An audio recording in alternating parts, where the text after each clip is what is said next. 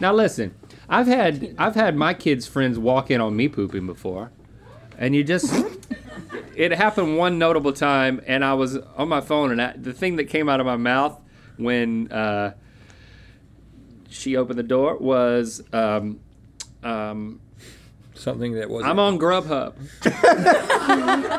That's literally what I said. You're an idiot, man.